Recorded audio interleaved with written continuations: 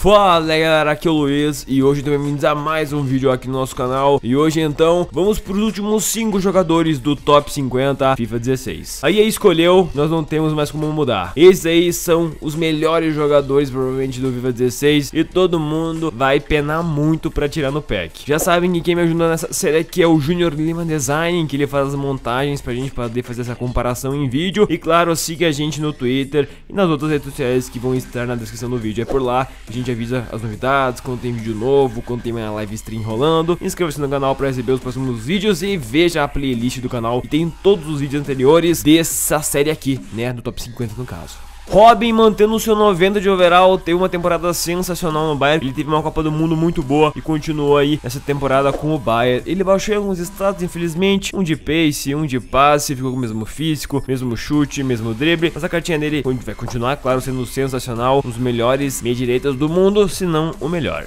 Neuer em quarto lugar vai continuar sendo o melhor goleiro do FIFA, pelo menos, né? Ele teve uma pequena troca, perdeu dois de dive, né, que é o salto, e ganhou dois de manejo, que é handing. E também perdeu um de kick, mas kick, né, quem se importa com o kick do Neuer, sendo que o cara tem 90 de posicionamento e 85 de salto. E os três melhores jogadores do mundo estão na Liga BBVA, na Liga Espanhola. Vamos começar por ele, Soares, que teve um upgrade de 89 para 90, merecido, os melhores jogadores do mundo com certeza. Perdeu um de pace, aumentou um de chute, ficou com o mesmo físico, mesmo passe, mesma defesa, mesmo drible, só teve essa troca, mas ele aumentou o overall. Eu acho que ele poderia ter aumentado o chute e ter continuado com o mesmo pace. O passe também devia ter aumentado, na minha opinião.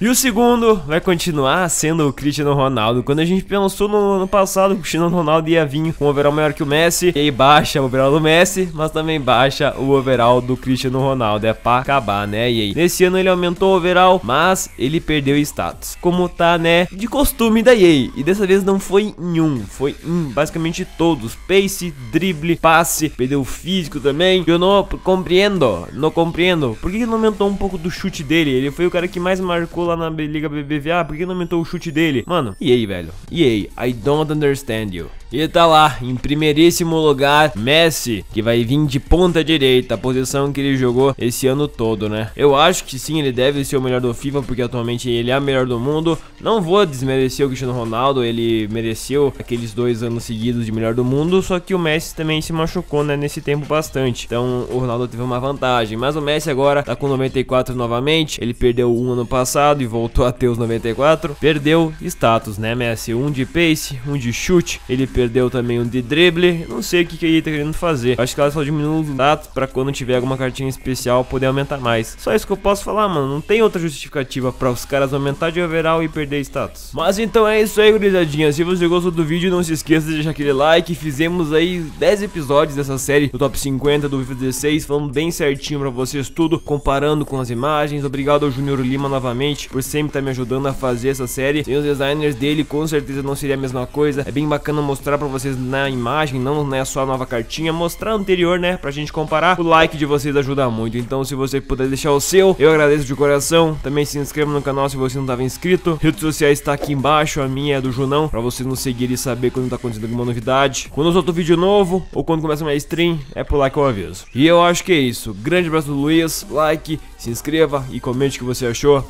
E até o próximo vídeo.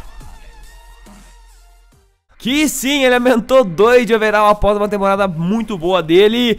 E os status? Vai tomar no cu, EA! Vagabunda! Vagabunda! Como se não aumenta os status do Neymar? Velho, não dá pra entender, velho. O menino Neymar, ele aumenta 2 de overall. Porque ele merece, jogou muito, mano. Jogou muito mesmo. E os status?